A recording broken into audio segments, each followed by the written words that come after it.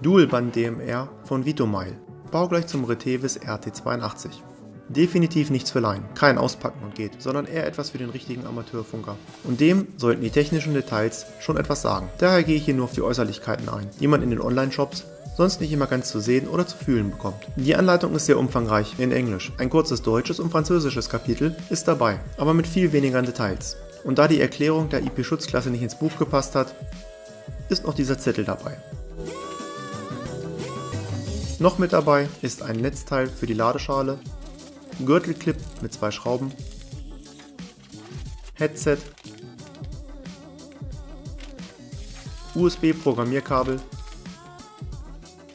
Antenne, Lithium-Ionen-Akku. Und die Ladeschale. In der Übersicht sieht das dann so aus. Keine CD und auch kein Download-Link für die Software. Ich habe noch nicht versucht, die Retevis-Software zu nehmen. Wer es hat, kann mir ja mal einen Kommentar schreiben. Dass das Ganze IP67 ist, zeigt sich im gesamten Aufbau. Massiver Guss an einigen Stellen, alles gummiert und abgedichtet.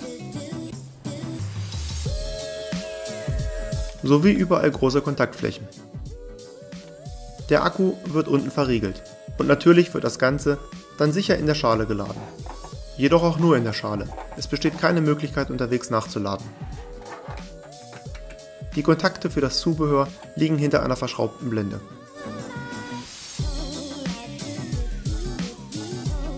Ein Anschalter mit Poti für die Lautstärke.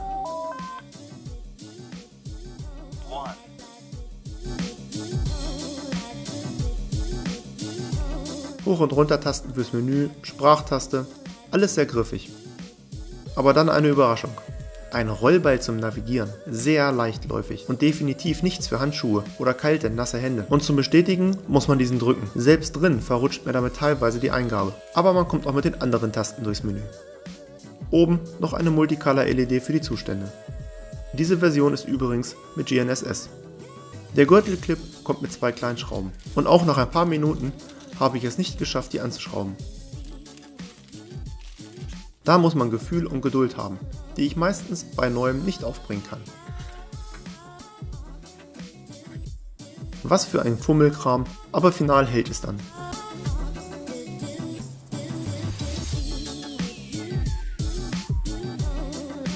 Die Schnittstelle für das Zubehör ist hier versteckt. Es ist zwar eine Rändelschraube, aber recht festgezogen entgegen den Vorgängermodellen und anderen Herstellern nicht mehr mit Klinkensteckern. Das hat seine Vor- und Nachteile. So verlässt man den Konsumerbereich hin zu etwas Robustem. Aber dadurch steigt auch der Preis, da es weniger Anbieter gibt. Die Gegensteckerseite sowohl am USB-Datenkabel als auch am Headset sind auch mit der Rändelschraube versehen. Und so dann fest an das Gerät angeschlossen.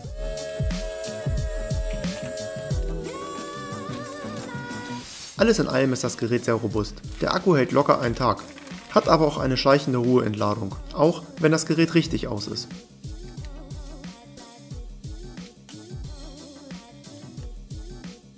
Mit der richtigen Software sollen sich die Code-Plug-Files der Vorgängermodelle übrigens auch übernehmen lassen.